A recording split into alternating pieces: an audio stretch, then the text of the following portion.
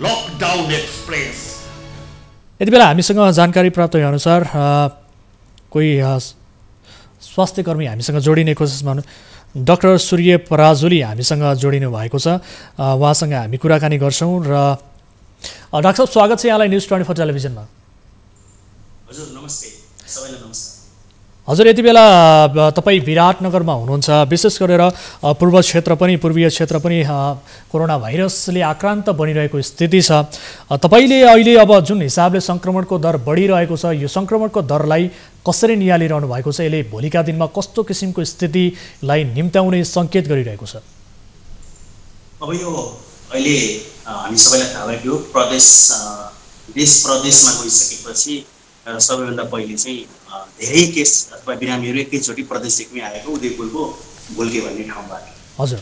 अब हामीले के कस्तो अवस्था छ भनेर अहिले नेपालकै ट्रेन्डमा पनि हेर्न सक्ने अवस्था आइसकेको र संसारकै ट्रेन्ड हेर्ने हो भने जसरी सयवटा बिरामी पुग्न अथवा सयवटा केस आइडेन्टिफाई हुन जति समय लाग्यो त्यसपछि भत्तै केसहरू बढ्ने र त्यसपछि अलिकति सिभिरिटी पनि बढ्ने र मृत्युका घटनाहरू पनि देखिने कुरा चाहिँ नेपालको डेटाले पनि चाहिँ अहिले अहिलेको यो अवस्थाले पनि चाहिँ प्रतिबिम्बित गरिरहेको अवस्था छ। अब आजको दिनमा नेपालको सबै प्रदेशमा कोरोना भाइरस सङ्क्रमित व्यक्तिहरू हुनुहुन्छ भनेर देखाइरहँदाखेरि त्यो चाहिँ एउटा टिप अफ आइसबर्ग भन्छ। त्यो भनेको चाहिँ एउटा समुद्रमा ठुलो भनौँ न बरफको ढिक्काको टुप्पो मात्रै देखे जस्तो हुन सक्छ। आजको दिनमा नेपालका लगभग लगभग सबै ठाउँहरूतिर चाहिँ कोरोना भाइरसको सङ्क्रमण फैलिसकेको हो कि भन्ने पूर्व अनुमान गर्न सक्ने अवस्था चाहिँ सहजै देखिन्छ अब तपाईँ अब सञ्चार क्षेत्रसँग पनि आबद्ध हुनुहुन्छ सञ्चारकर्मी पनि हुनुहुन्छ। विशेष गरेर यसरी सङ्क्रमणको दर बढिरहँदा भोलिका दिनमा यो महामारीलाई नियन्त्रण गर्नका लागि विशेष गरेर हाम्रा स्वास्थ्य संरचनाहरूको अवस्थालाई अहिले कसरी विश्लेषण गर्न सकिन्छ कसरी हेर्न सकिन्छ भोलिका दिनमा यसको आवश्यकतालाई चाहिँ कसरी निर्क्योल गर्न सकिन्छ? एकदमै एकदमै राम्रो प्रश्न सोध्नुभयो। म दुई चारवटा कुराहरू के भन्न चाहन्छु भने जति बेला उहानमा कोरोना सङ्क्रमण दर हत्तै बढेको थियो विश्व समुदाय जति रूपमा सतर्क हुनुपर्ने थियो विश्व स्वास्थ्य सङ्गठन र लिडिङ कन्ट्रीहरू त्यति नभइरहेको अवस्था थियो। तथापि नेपालमा केही मात्रामा मिटिङहरू हुन थालेको थियो। प्रदेश एकको हकमा कुरा गर्नुहुन्छ भने प्रदेश एकमा जति बेला उहानका मानिसहरूलाई चाहिँ नेपाल ल्याउनुपर्छ भनेर छलफल हुँदै गर्दाखेरि प्रदेश एकमा माघ एक्काइस गते नै माघ एक्काइस गते झन्डै चार महिना हुन आँटिसक्यो। त्यो। बेला चाहिँ यहाँका मन्त्रीज्यूहरूको नेतृत्वमा ठुलो मिटिङ भएको थियो सर्वपक्षीय मिटिङ भएको थियो। त्यसमा मैले प्रष्ट भनेका थिएँ हामीले अहिलेसम्मको त्यो बेलाको तथ्याङ्कको आधारमा जोखिमयुक्त वर्गहरूलाई छुट्याएर चाहिँ हामीले संरचना तयार गर्नुपर्छ। यो महामारी हो यसमा विज्ञता पनि धेरैसँग छैन। सयौँ वर्षपछि यो देखिँदै गर्दाखेरि हामी एकदमै तयार रहनुपर्छ भन्ने अवस्था आयो। तर जसरी सङ्क्रमण फैलिँदै गर्दा नेपालमा बिरामी नदेखिने र नमरिरहेको अवस्थामा हामी अलिकति भित्तलो अवस्थामा पुग्यौँ कि भन्ने देखिन्छ। यहाँले सञ्चारकर्मीको कुरा पनि जोड्नुभयो। डेफिनेटली सन् दुई हजार एघारदेखि म आफै पनि विभिन्न प्रस्तुतिहरू गर्दै आइरहेको छु। मैले विभिन्न ठाउँहरूमा भनिरहँदाखेरि त्यति नआइसकेपछि मैले मेरो आफ्नै कार्यक्रम डाक्टर साथी लाइभ मार्फत पनि माघको एक्काइस गतिभन्दा केही हप्ता अगाडि नै प्रदेश एक कोरोनाको लागि कतिको तयार छ भनेर विभिन्न विज्ञहरूसँग छलफल गरेको थिएँ र आफै विज्ञ भएको नाताले पनि त्यसबारेमा आवाज उठाएको थिएँ। तर कता कता संहिता सुरु भइसकेपछि नेपालमा सङ्घ प्रदेश र स्थानीय निकायहरूमा मुख्यतया स्वास्थ्यको विषयमा चाहिँ त्यति धेरै कोअर्डिनेसनहरू नहुन सकेको र हामी अलिकति फितलो अवस्थामा रहँदै गर्दाखेरि कोरोना महामारीलाई महामारी आइस आउ आउने अवस्था आयो तर पनि हामीसँग यो विगतको जुन तिन महिना म वैशाख एक्काइस गतेसम्म जान चाहन्छु वैशाख एक्काइस गतेसम्म तिन महिनामा हामीसँग धेरै नै समय थियो गर्न त नगरेको होइन देशले होइन केन्द्रले अथवा प्रदेशले सङ्घले स्थानीयले गरेका छन् तर त्यहाँ विज्ञताको अभाव भयो त्यो विज्ञताको अभावले चाहिँ गाह्रो भयो यहाँहरूले सुन्नुभएको होला टेलिभिजन मार्फत रेडियो मार्फत त्यसै गरी अनलाइन मार्फत हाम्रा सयौँ लाखौँ श्रोता तथा दर्शकहरूले सुन्नुभएकै छ। जस्तो फाइभ टीको अवधारणाको कुराहरू गरिरहेको छ धेरैले सुन्नुभयो थ्री टी सुन्नुभयो फोर टी फाइभ टी आज म नयाँ टीको बारेमा कुरा गर्दैछु। आजको दिनमा मैले बोल्नुपर्दा सायद यो मेरो आफ्नै मैले चलाउने प्रोग्रामबाट भन्दा पनि न्युज ट्वेन्टी फोरबाट आज पहिलोचोटि नयाँ टी थप्दैछु। त्यो टी भनेको ट्रस्ट हो। हजुर। त्यो ट्रस्ट भन्ने टी थप्नुपर्ने आवश्यक छ। आजको दिनमा सङ्घीय सरकार प्रदेश सरकार र स्थानीय सरकार बिचको ट्रस्ट अलिकति घुमेको हो कि? एउटा संस्थाबाट अर्को संस्था बिचको ट्रस्ट अलिकति घुमेको हो कि? त्यही भएर हामीले फाइभ टी भनिरहँदाखेरि जस्तो फाइभ टी भनिरहँदाखेरि सिक्सटी म चाहिँ टी पनि थपेँ। Test trace track treatment teamwork र ट्र्याकिङको कुरामा ट्रस्टको कुरा पनि जोड्नुपर्छ। यदि हामीले ट्रस्टको कुरालाई राम्ररी जोड्न सक्यौँ भने चाहिँ हामीले अगाडि बढ्ने बाटोहरू सहज हुन सक्छ जस्तो लाग्छ अब तपाईँले विशेष गरेर ट्र्याकिङको कुरा पनि यहाँनिर जोड्नुभयो। अब नेपालमा देखिएका अधिकांश जति पनि सङ्क्रमित छन् प्रदेश एकमै देखिएका जति पनि सङ्क्रमित अधिकांश सङ्क्रमितहरूको स्रोत के हो भन्ने किसिमको खुलेकै स्थिति छैन। स्रोत पत्ता नलागेको अवस्था छ। अब यो अवस्थामा कन्ट्र्याक्ट ट्रेसिङको कुराहरू कसरी गर्न सकिने ट्र्याकिङको कुराहरू कसरी पत्ता लगाउन सकिने भन्ने चुनौती एकातिर छ। यो भोलिका दिनमा हाम्रा लागि कतिको टाउको दुखाइको विषय हुनसक्छ हामीले एउटा गोल्डन अपर्च्युनिटी भन्छ। हामीसँग एउटा महत्त्वपूर्ण समय थियो। यो लकडाउन किन गरिन्छ भन्ने कुरै हामीले के बुझ्नुपर्छ भने लकडाउन भनेको हाम्रा स्वास्थ्य संस्थाहरू अथवा हामी तयारी छैनौँ त्यो तयारी नभएको अवस्थामा हामीले लकडाउन गरेर हाम्रो हेल्थ सिस्टमलाई बलियो बनाउने भन्ने कुरा हो। हेल्थ सिस्टमलाई बलियो बनाउनु भनेको त्यहाँका इन्फ्रास्ट्रक्चर त्यहाँका जनशक्ति त्यहाँको आर्थिक अवस्था र जनतालाई हामीले सुसूचित गर्ने र जनतालाई नै एउटा अपनत्व ल्याउने भन्ने कुरामा हामी थियौँ। नभएका पनि भएका छन् तर अझ गर्न सकिने केही ग्यापहरू भन्छ नि त्यो ग्यापहरू हामीले आइडेन्टिफाई गरेका थियौँ। त्यसलाई गर्न सक्यो भने राम्रो हुन्थ्यो। तर अब हिजो के भयो हिजो के भएन भनेर भन्नुपर्दा पनि म एउटा विज्ञ भएको नाताले के भन्न चाहन्छु भने अब हामीले फाइभ टीमा एउटा टी एड गरौँ त्यो भनेको ट्रस्ट। अब हामीले ट्रस्ट गरेरै अघि बढ्नुपर्छ। यहाँले स्रोतको कुरा गर्नुभयो नेपालमा पहिलो बिरामी वुहान भन्ने ठाउँबाटै आइरहँदाखेरि फाटकफुट्ट बिरामीको सङ्ख्या त देखिएको हो। त्यो बेला उहाँहरू भाया एयर अथवा प्लेनबाट आउनुभएको थियो। हजुर। र उहाँहरूलाई देखिएको लक्षण तथा चिन्हको आधारमा त्यति धेरै सिभिरिटी अथवा जटिलताहरू थिएन।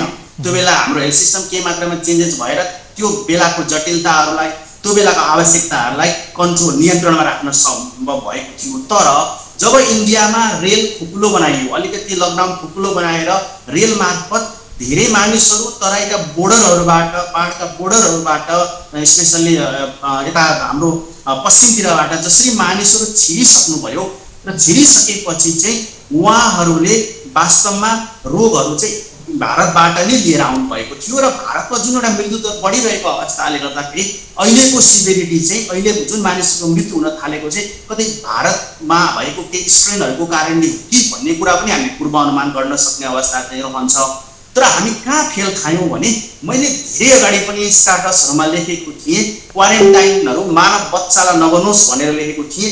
किन भनेको थिएँ भन्दाखेरि क्वारेन्टाइनहरू जुन नेपाल सरकारले एउटा गाइडलाइन बनाएको थियो त्यो गाइडलाइन अत्यन्तै स्ट्रङ गाइडलाइन थियो। त्यो गाइडलाइन अनुसारका जनशक्तिहरू नेपालमा थिए। आजको त धेरै जनशक्तिहरूले स्वयंसेवा गर्न तयार हुँदै गर्दाखेरि पनि ट्रस्टको कारणले पब्लिक प्राइभेट पार्टिसिपेसन यो योमा राम्रो तरिकाले बुझ्न नसकेको कारणले र ट्रस्ट गुमेको कारणले होला क्वारेन्टाइनहरू बनेनन्।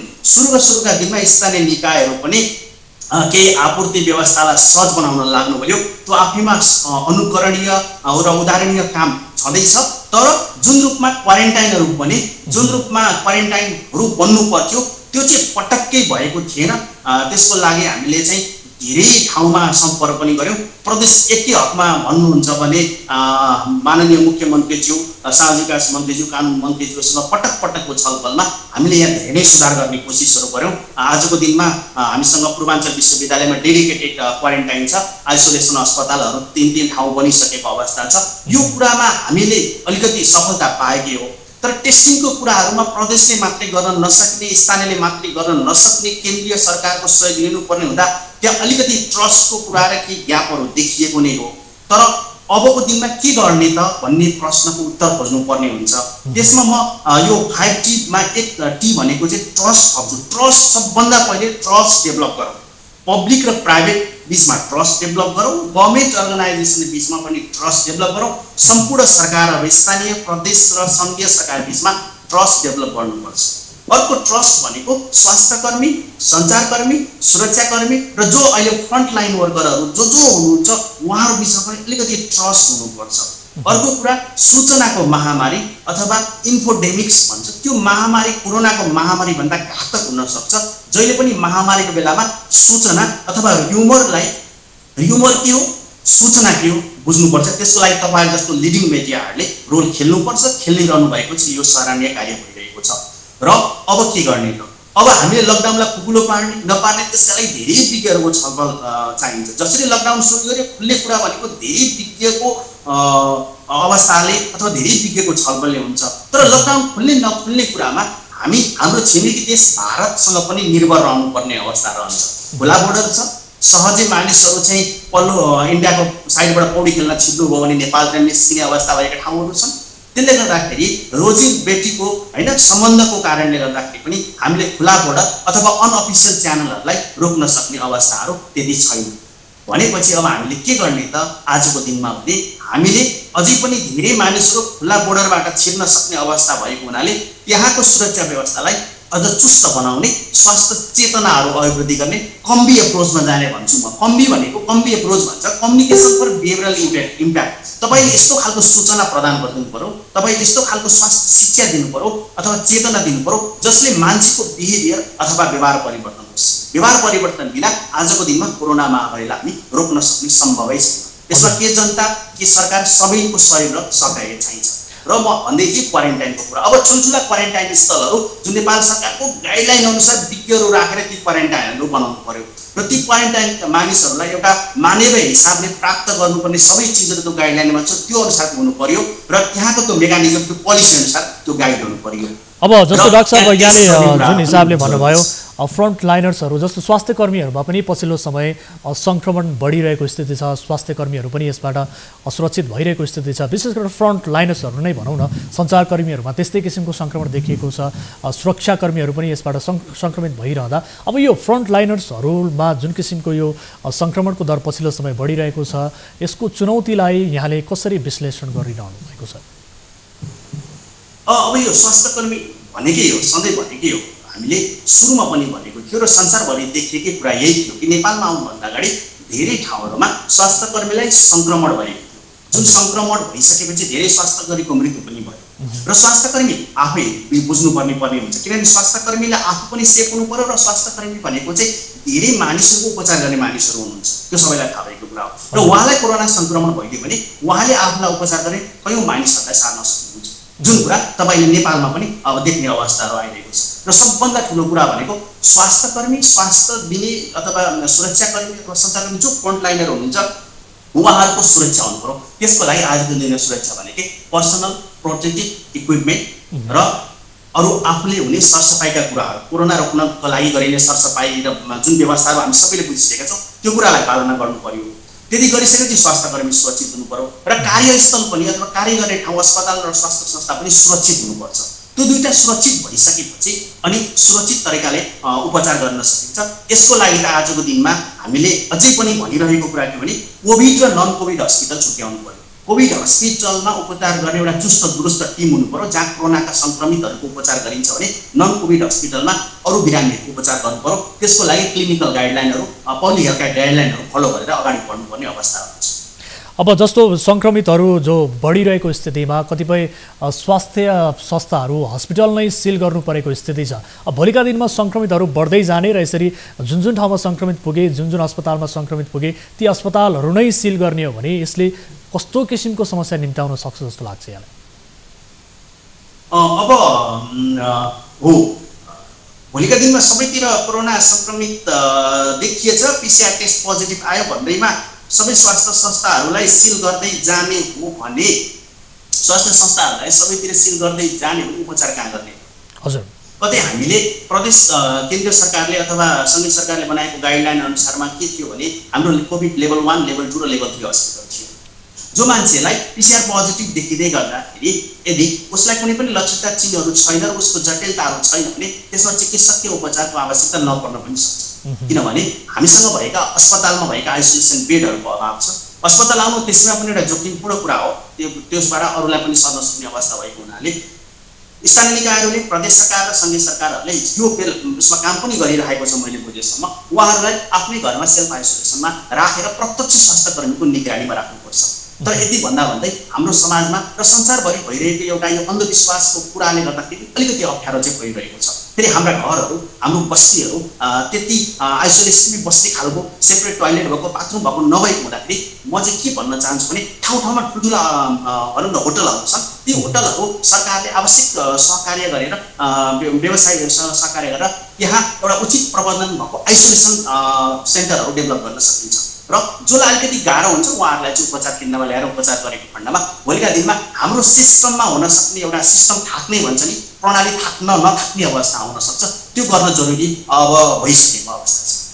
जस्तो अलिकति अब परीक्षणको कुराहरूलाई जोडौँ। अन्तिममा अब जुन हिसाबले अहिले पछिल्लो समय परीक्षण भइरहेको छ हुन त यो पर्याप्त छैन। यसको दर अझ बढी बढाउनुपर्छ भन्ने किसिमको आवाजहरू उठिरहेको सन्दर्भमा पछिल्लो समय परीक्षणको दर केही बढेर सङ्क्रमितको सङ्ख्या बढेको हो भन्ने पनि छ। अब भोलिका दिनमा यसको दायरा अझ बढी फराकिलो होला। फराकिलो भएसँगै सङ्क्रमितको सङ्ख्या पनि भित्रभित्रै बढी बढिरहन सक्ने स्थिति हुनसक्छ। अब यो अवस्थामा कन्ट्र्याक्ट ट्रेसिङ पनि प्रभावकारी भइरहेको छैन स्रोत नै पत्ता लागिरहेको छैन अस्पतालहरू यसरी सिल भइरहेको स्थिति छ। भनेपछि अब भोलिका दिनमा जुन प्रदेश एकै कुरा गरौँ प्रदेश एकै अन्य जिल्लाहरूमा पनि स्रोतहरू पत्ता लागेको स्थिति छैन सङ्क्रमितहरूको भनेपछि परीक्षणको दायराको स्थिति हेर्ने हो भने त्यहाँ पनि दयनीय छ। अब भोलिका दिनमा यो दायरा बढ्ने हो भने सङ्क्रमितको सङ्ख्या त डेफिनेटली बढ्छ नै। अब हाम्रा लागि यो कतिको चुनौती हुनसक्छ स्वास्थ्य संरचनाहरू पनि सिल हुँदै जानु हस्पिटलहरू बन्द हुँदै जानु यो भित्रभित्रै यो सङ्क्रमितहरूको सङ्ख्या भुसको आगो चाहिँ सल्किनुले कतिको चुनौती ल्याउन सक्छ? यो कुरा धेरै जनस्वास्थ्य विज्ञहरू र विज्ञहरूले भनिसकेको कुरा महामारीको विज्ञहरूले भने Nepali Society of Community Medicine भन्ने एउटा संस्था पनि छ जो कम्युनिटी मेडिसिनमा एमडी गरेका महामारी विशेषज्ञहरूको संस्था हो। नेपालमा सय डेढ सयजना उहाँ एक्सपर्टहरू हुनुहुन्छ र अरू जनस्वास्थ्यका साथीहरू सञ्चारका साथीहरू सबैले भनेकै हो। तर कुरा कहाँ रह्यो भने मैले यहाँलाई सुरुमै निवेदन गरेको थिएँ टिप अफ आइसबर्ग समुद्रमा एउटा ठुलो चाहिँ भनौँ न बरफको ढिक्का मात्रै हामी टुप्पो हेरिरहेका छौँ। जति बेला भारतकोबाट अनअफिसियल च्यानलबाट मानिसहरू नेपालमा छिरिरहेका थिए र भारतमा सङ्क्रमणको दर बढ्दै गइरहेको थियो भने ती व्यक्तिहरूले नेपालमा आइसकेपछि सारेनन् भन्ने कुरा त हामीले त्यो कुरालाई हामीले नजरअन्दाज गर्न सक्दैनौँ। किनभने अहिले टेस्टको किट पिसिआर टेस्टको दायरा बढेको कारणले बढी देखिएको र उहाँहरूको पिसिआर टेस्ट पोजिटिभ हुने दिनहरू पनि आएको भएर बढी देखिएको अवस्था हो। तर त्यो बेला अनअफिसियल च्यानलबाट नेपालका धेरै ठाउँ र मानिसहरू छिरिसक्नु भएको त्यो छिरिसकेपछि त उहाँहरूलाई पनि पोजिटिभ देखिने उहाँहरूलाई कहिले कैयौँलाई सारिसकेको अवस्था हुनसक्छ तथ्य नभएको कुराहरू सबै कुरा भन्न सकिएन। तर छिरिसकेको अवस्था चाहिँ देखिएको छ। फेरि हाम्रोमा कस्तो भइदियो भने धेरै लामो समय लकडाउन भइसकेपछि मान्छे विभिन्न कारणहरूले चाहिँ लकडाउनलाई पालना नगरिरहेको अवस्था पनि देखियो। केही व्यक्तिहरू लकडाउनलाई पूर्ण रूपमा पालना गरिरहनु भएको छ। केही व्यक्तिहरू निरन्तर रूपमा लकडाउनलाई पालना गरिरहनु भएको छैन। तपाईँ बिरामीको हकमा कुरा गर्नुहुन्छ भने जब बिरामी पिसिआर पोजिटिभ भनेर आउँछ अनि मात्रै त्यहाँनिर चाहिँ मानिसहरू अलिक बढी सचेत हुने जस्तो अहिले बिरामीको कुरा हुन्छ एकदम बजार आउने ठाउँ बजार अहिले कम हुने। त्यसो गरिरहँदाखेरि के हुन्छ भने पिसिआर पोजिटिभ आएपछि चाहिँ जब उसको आइसोलेसन आइसोलेसनमा लगेर राखिन्छ उपचार केन्द्रमा राखेपछि त्यहाँ सचेतना त अवश्य नै बढ्छ। तर जनता पनि बढी सचेत हुने कुरा देखियो। तर सबैभन्दा ठुलो च्यालेन्ज आजको दिनमा कोभिडमा के भयो भने यसले लक्षण तथा चिन्ह नै देखाउँदैन एसिम्टमेटिक हुन्छ भनेको कुनै लक्षण त चिन्ह बिना नै यो रोग पोकेर मानिसहरू हिँडिरहेका हुन्छन् र सारिरहेका हुन सक्ने भएका हुनाले सबैभन्दा ठुलो कुरा हामीले सामाजिक दूरी अथवा फिजिकल डिस्टेन्सिङ मेन्टेन गर्ने आफ्नो सरसफाइका कुराहरू ह्यान्ड वासिङका कुराहरूमा ध्यान दिनुपर्छ। र अब आपूर्ति व्यवस्थाहरू घर घरमा हुन जरुरी छ होइन? किन्न सक्नेले किनेर नकिन्न सक्नेले चाहिँ सरकारले त्यसलाई आवश्यक समन्वय गरेर आपूर्ति व्यवस्था घर घरमा पुऱ्याइदिने हो भने धेरै मानिसहरू आज बजारमा सामान किन्नको लागि अत्यावश्यक वस्तु किन्नको लागि जानुपर्ने अवस्था छैन र आजको दिनमा एउटै समाधान अझै पनि भनेको हामीले केही समय लकडाउनलाई पूर्ण रूपमा पालना गर्नुपर्छ। लकडाउनलाई पालना गर्दै गर्दाखेरि चाहिँ त्यहाँ के हुनु पऱ्यो भने सप्लाई अथवा आपूर्ति व्यवस्था खाद्य आपूर्तिदेखि लिएर अरू आवश्यक आपूर्ति व्यवस्थाहरूलाई चाहिँ अगाडि बढाउनुपर्छ। त्यो गर्न सकेन भने मान्छेले अहिले आफ्नो तत्कालको खानाको आवश्यकतालाई चाहिँ पूर्ति गर्नको लागि उसले लकडाउन चाहिँ पालना नगर्ने अवस्था रहन्छ। हुन्छ डाक्टर साहब यहाँको यो महत्त्वपूर्ण जानकारीका लागि हजुर। यो जानकारीका लागि धेरै धेरै धन्यवाद। यहाँलाई यो समय र जानकारीका लागि धन्यवाद। धन्यवाद। न्युज ट्वेन्टी फोरलाई पनि म धन्यवाद दिन चाहन्छु र सम्पूर्ण दर्शकहरूलाई पनि धन्यवाद दिँदै म विराटनगरबाट कम्युनिकेसन डाक्टर सूर्य पराजनले बिदा हुन चाहन्छु। तपाईँहरूले Facebook dot com slash doctor Surya Parajuli भन्ने मेरो पेज मार्फत पनि धेरै जानकारी प्राप्त गर्न सक्नुहुन्छ। हुन्छ। हवस् त नमस्ते। हस् थ्याङ्क यू सो मच हजुर उहाँ हुनुहुन्थ्यो डाक्टर सूर्य पराजुली यति बेला विराटनगरबाट हामीसँग जोडिनु भएको थियो। उहाँसँग हामीले कोरोना भाइरससँग सम्बन्धित विभिन्न महत्त्वपूर्ण जानकारीहरूका विषयमा कुराकानी गऱ्यौँ। Lockdown Express.